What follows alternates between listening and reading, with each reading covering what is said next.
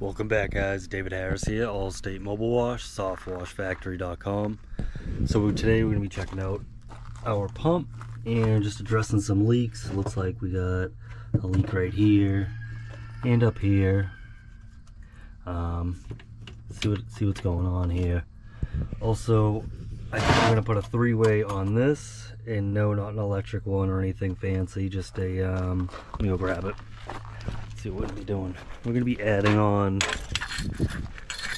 this three-way thing here. This is just a dust cap at the end. There's another male cam lock right there. This thing's threaded in. Probably put it in like that so I can always have my water on it and a bleach line of one of the tanks. So I can just be like boom, boom, instead of taking these off like this popping them off all the time, dripping bleach everywhere. I mean, yeah, the restrictors are like that, but still. Still gonna check that out, see what's going down, right? Also, I'm gonna open up this line here. What's in my head? Open up the line so I don't get sprayed with a bunch of water.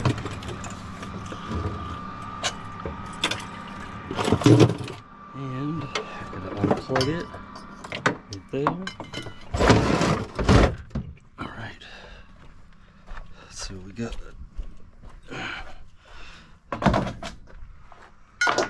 Yeah, it's looking like it's leaking up here. Let's see if we can just tighten it. And then we'll rethread it. Yeah, it needs to be tighter. And for over here, yeah, this one here, I think I can just tighten with the tape I already have. Unscrew this, I can turn this over. The that, I don't think that's leaking.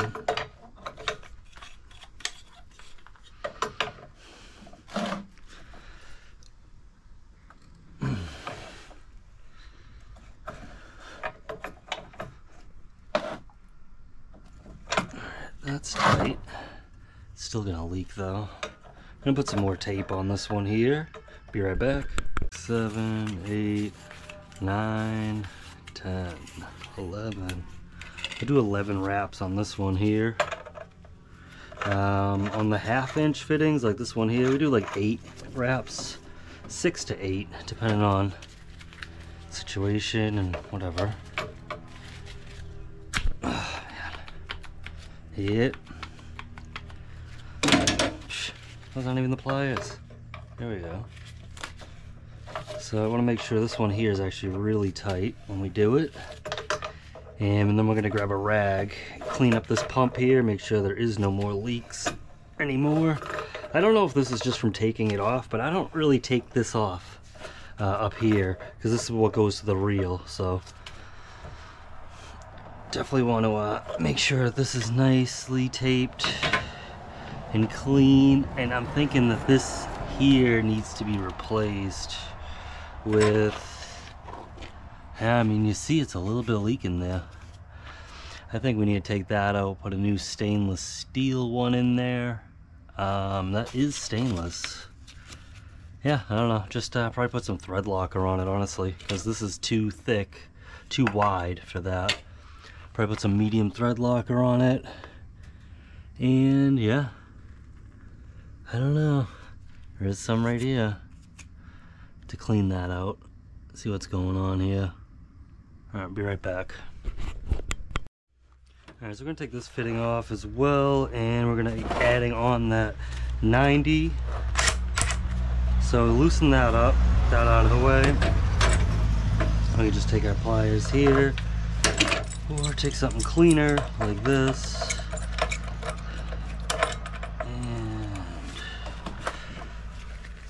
So then it just turns and the uh, hose does not turn with it.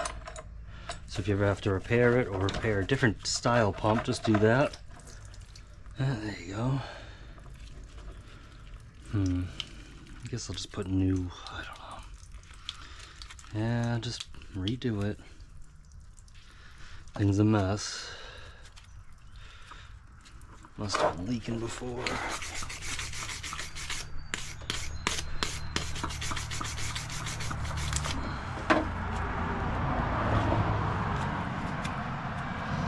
You guys. Yeah, so this is definitely the advantage of having the stainless fittings. Like I say, I like those uh, barbs that are the plastic, the poly uh, banjo ones we use. I don't know, they're both good. I just feel like when you use the bleach in it with these style hoses, these clear poly braided hoses, they just get all slippery and start spinning on you and loosen up. So we don't mind using with the soft wash hose, that yellow hose we use. Works fine.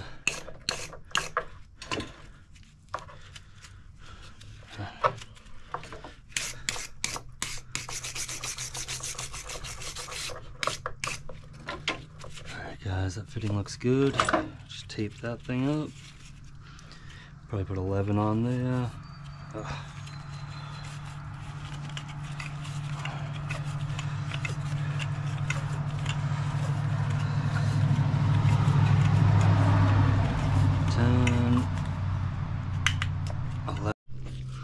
Alright guys, so we got the elbow here that we're going to be putting on right here, all the way down to here.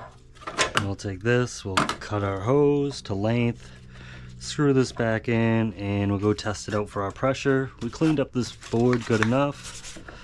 Uh, I can get it done a little bit better, put some roof mix on it, but I'm not too worried. Uh, actually, the only other thing I have to do, I think, is this bolt here. But I'm just going to see how it works first and then we'll take a look at that. All right.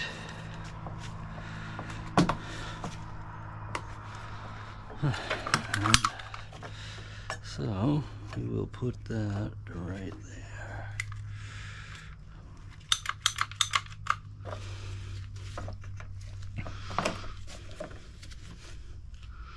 Hmm, yeah, good enough for me.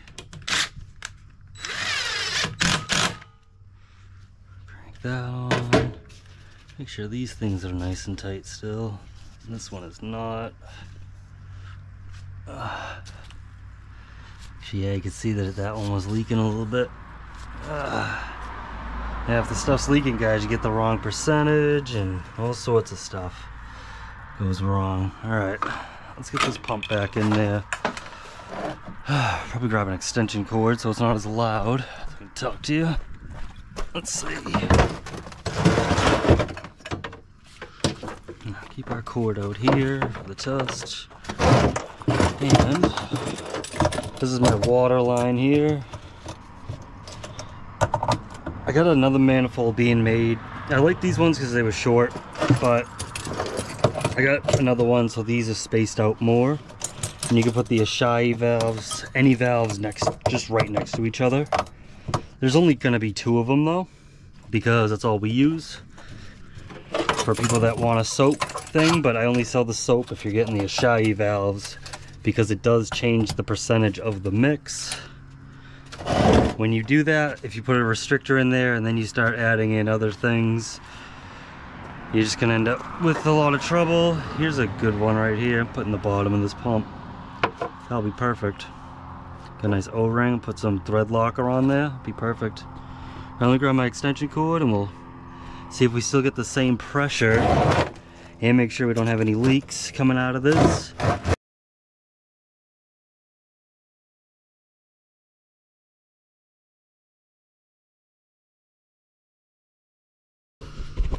Alright guys, got our extension cord plugged into my house. That's all you need for these pumps here.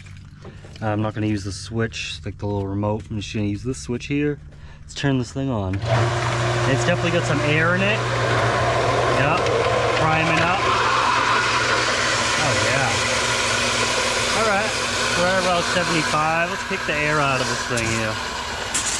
You hear all that? This is all just water. Yeah, we're still at 60 PSI, guys. And there's air in this line too. Oh, maybe not too much.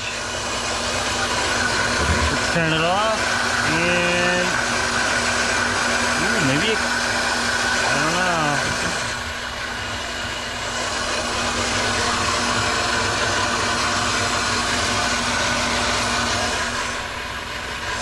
One thing I do need to do though is stay right there.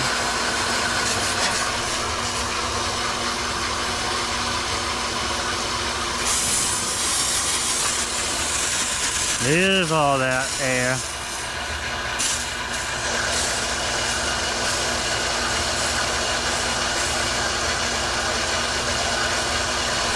And I just wanted to clean that off.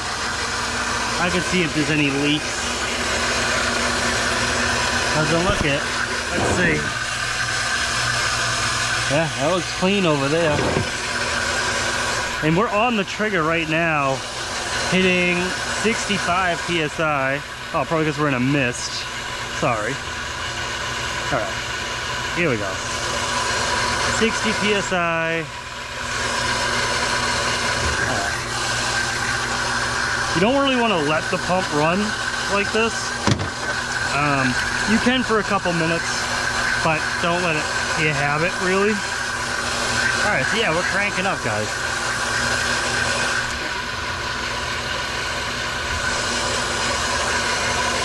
Huh. Wow. Maybe you do lose a little bit of PSI.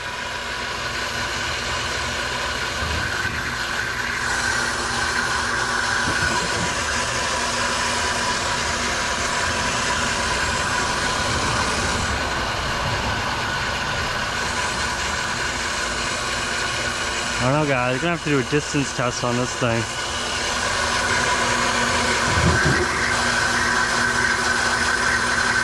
Yeah, I think we lost like 2 PSI. No, that's nothing. I don't think we even lost anything.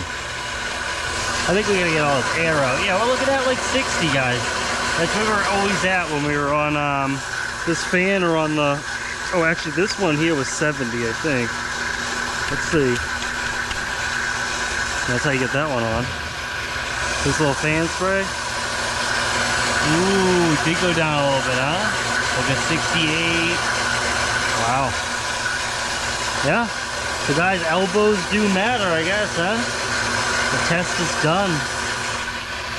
I don't know if we're gonna use them.